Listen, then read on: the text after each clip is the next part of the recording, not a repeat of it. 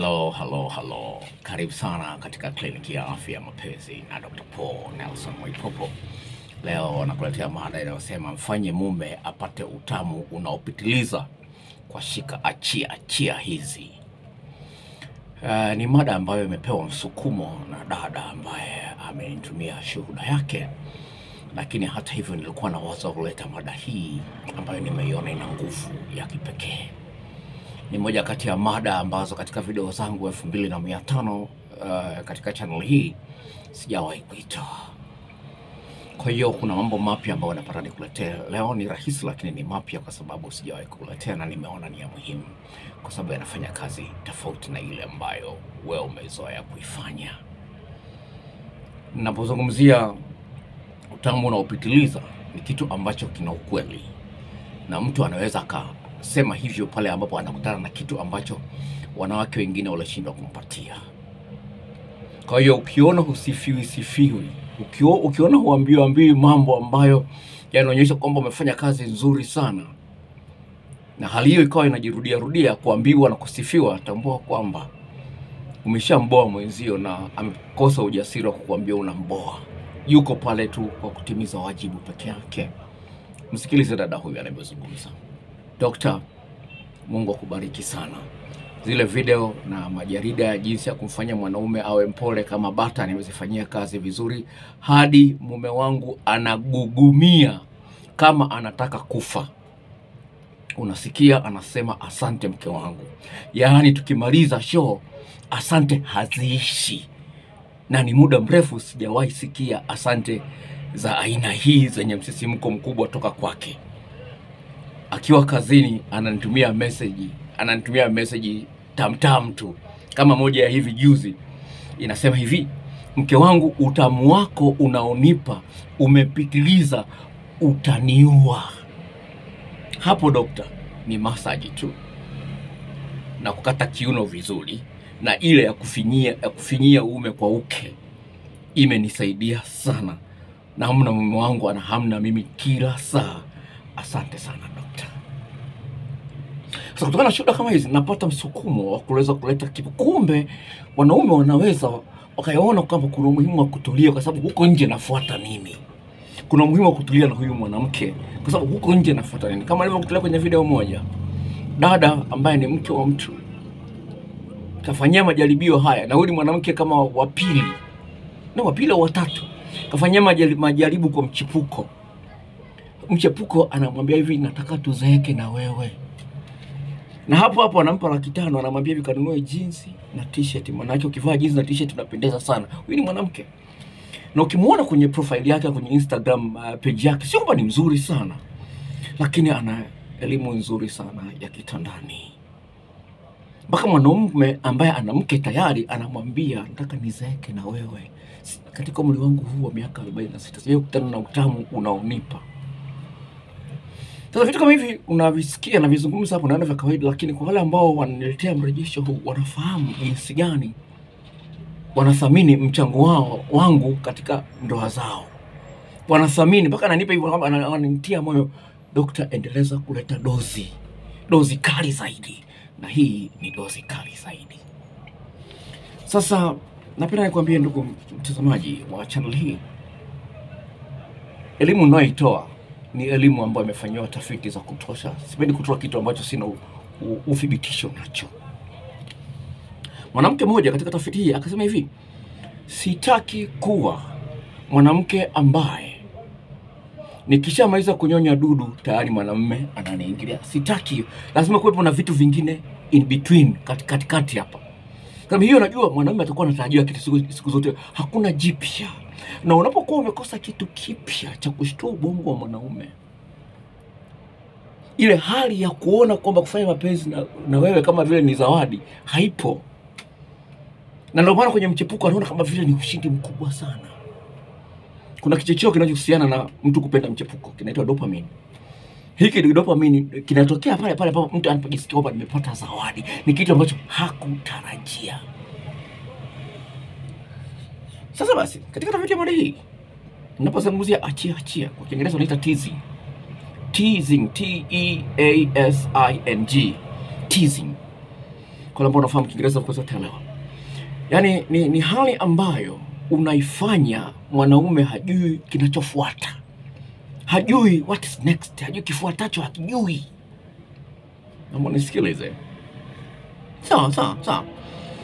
Wa- Wewe wanawake wengi wanachukua tu shortcut. Dada mmoja akasema wanawake wengi wanachukua shortcut.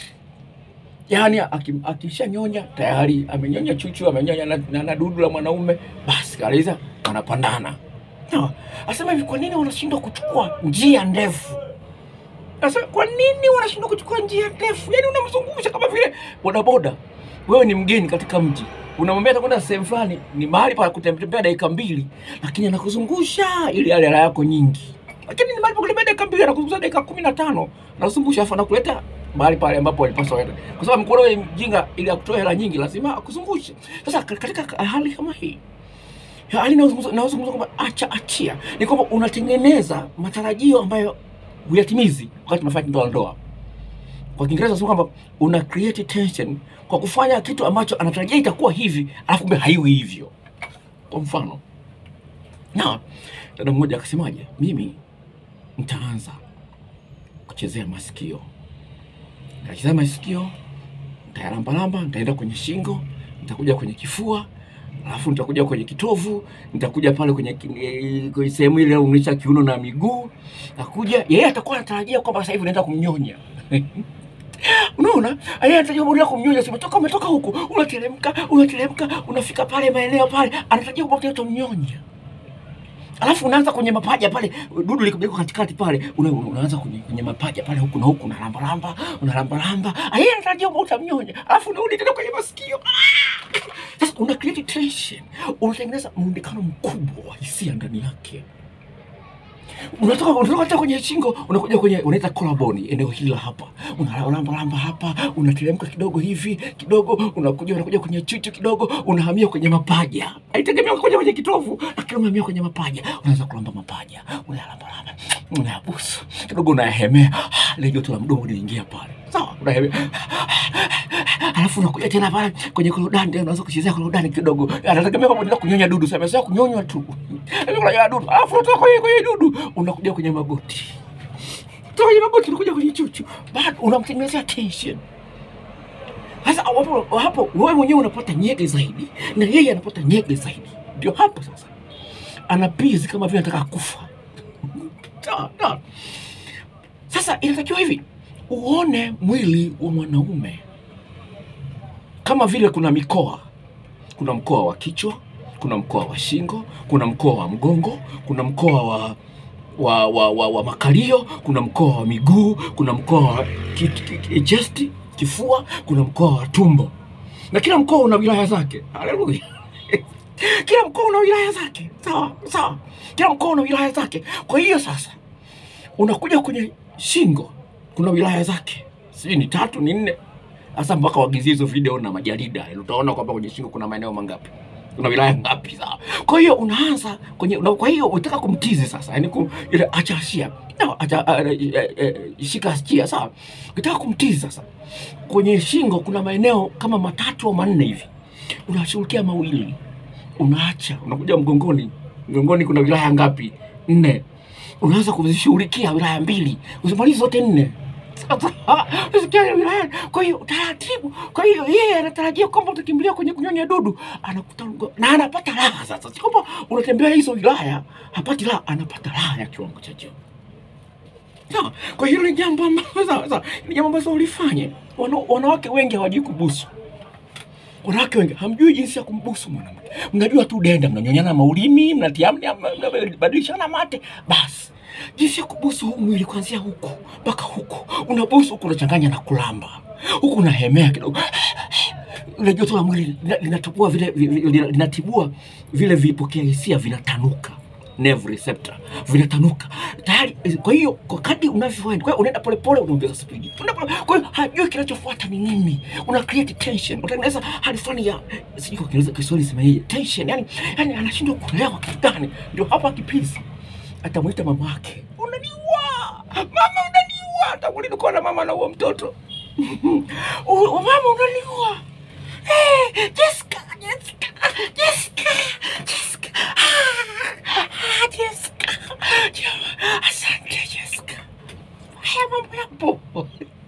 Ta- Sasa wewe hata siku moja mwanamke mwanaume hajawahi kukuita jina lako anapokuwa ameka utamu kwa mwingi, hakuiti mnafanya tu fanya mapenzi tu kimya kimya tu kama mabundi. Ndo mnaboa, mmebakia tu kulalamika. Ah, mwanamke hawezi, mwanaume hawezi kutulia na mwanamke mmoja. Imekuwa ni wimbo kwa wanawake, kwenye mawasap mnapeana uongo. Inawezekana kutulia kama huyu dada anasema hivi, asante zimekuwa nyingi mno. Mwanake Manake ni kweli anapata faida kuwa na huyu mwanamke. Sasa una faida, Mm. una faida kwa mwanamke Ah. Kwa hiyo unamtekeleza fanya vyani, yani yeye endelea kumtizi. Yeye, anataka aikuingilie, amezoea hivyo, lakini wewe unamgeuza, unamgeuzia hiki, unampa kitu. yeye amezoea tu haya, sasa hivi bwana ndo niingie. Lakini unamgeuza. kwa hiyo mpaka anaanza kukubembeleza baby, funua panua miguu basi, Niki- baby, eh, baby, baby, nitakufa, nitakufa baby, utaniua, naomba niingie basi nimalize. Sasa wewe umezoea tu, umekalili kalili kwamba ukishanyonya tayari natombwa, itakula kwako. Sasa lazima wajue sasa. Sasa ya mambo usifanye ile akapitiliza. Naomba usikilize. Sawa. Kama vile baluni. Baluni ukilipulizia, ukilizidisha linapasuka. Kwa hiyo lazima ujue jinsi ya kufanya timing. Wapi, yani wewe ndio unakuwa in control. Ni- Nifanyaje ili nimruhusu sasa aanze kuni kunitia. Sasa kila siku tunatiwatiwa unatiwatiwa tunakojolewa ovyo ovyo, kileleni ufiki. Ujui. Deni aone kwamba kweli hapa na mimi nihangaike kwa ajili yake. Kama amehangaika kwa ajili yangu na mimi nihangaike kwa ajili yake. Sasa wewe tu kisha nyonya tu hmm, tayari amesha kuingilia ulimwengu huu ambapo mwanaume uliye naye ashatembea na wanawake saba kabla yako, na hata akiwa ndani yako ndani ya ndoa na wewe tayari kishatembea na watatu au wanne. Lazima jinsi ya kumrudisha, lazima ujue jinsi ya kumfanya awe mpole kama bata. Tambua kuna mikoa na wilaya, ujue jinsi ya kushughulikia, kufanyia ziara kwenye hiyo hayo maeneo yote. Hii ni kliniki ya afya mapenzi na Dr. Paul Nelson Mwaipopo. Asante sana kwa kuangalia channel hii, waambie marafiki zako, na kama unaangalia video kwa mara ya kwanza, jisajili ili nitakapoweka video nyingine upate taarifa haraka sana. Bye bye, asante kwa kunitia moyo. Bye.